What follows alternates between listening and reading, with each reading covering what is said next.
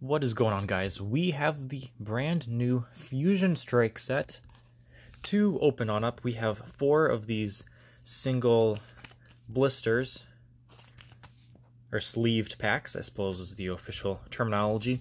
Got four of them to open on up to see what we get.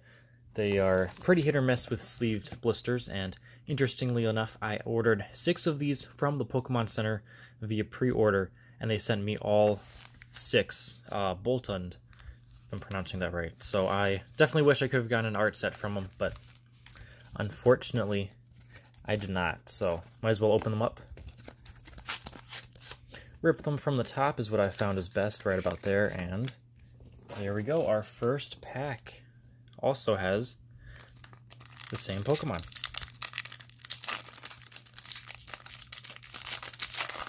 I also have a Pokemon Center Elite Trainer box that did arrive yesterday. So there is the code card, and as you can see, they have changed them.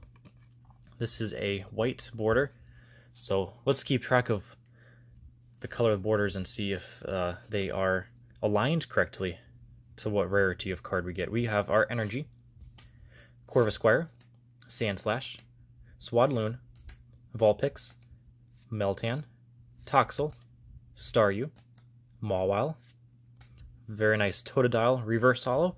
And if you were interested, there is the set symbol, 264 cards in the mainline set, and a non-hollow Absol. So it looks like if the codes are correct all the time, or at least most of the time, a white border will include a non-hollow rare. And so I believe in the black border will have a hollow or better. There we go, that pack opened up very nicely.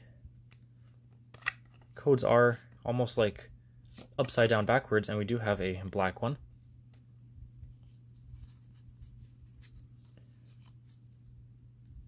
So let's see how it goes. We have a Psychic Energy, Falinks, and all these cards, obviously we have a Simisear, are pretty new to me. I haven't seen very many cards yet from the set. We got Cross Receiver, Galarian Meowth, Gossifleur, Panpour, Eevee. You can see all the Eevee cards in the background there. Ooh, a nice Shinx, which is cut funny. I'm going to look at that afterwards. A Durant is a common reverse holo, and we did get a holo Butterfree. Not too bad, and this Shinx card, I don't know how well you guys can see. You can see on the... Yeah, there you go. That is a very weirdly cut card. It looks like they were using a, a very dull blade and it just did not end up cutting it. So set that off to the side. That's very intriguing. Cool that it happened to Shinx. Oh, there we have a new pack art, Genesect. Give you guys a full full view of the pack.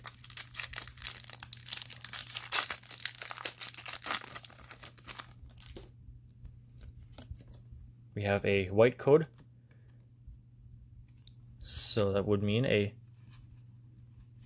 non-hollow rare, but let's see if that works. We have a Fighting Energy, Sliggoo, Clawitzer, Spongy Gloves, Shelmet, Drillbur, Bunnelby, Sandygast, a Plusle, Sigilyph, Reverse Hollow, and there we go, a non-hollow Virizion. So, last pick uh, pack Open that up. There we have a Gengar. I believe currently the Gengar VMAX alternate art card is currently the most expensive card from the set, and maybe number two is the Mew alternate art.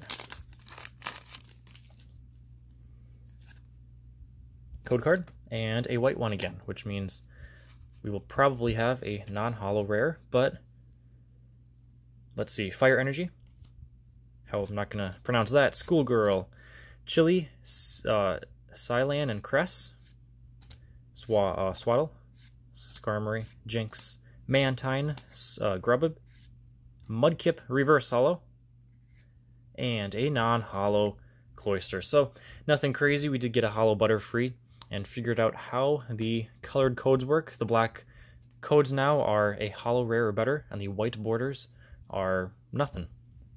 Thanks for watching, guys. Tomorrow, we'll be opening up this guy.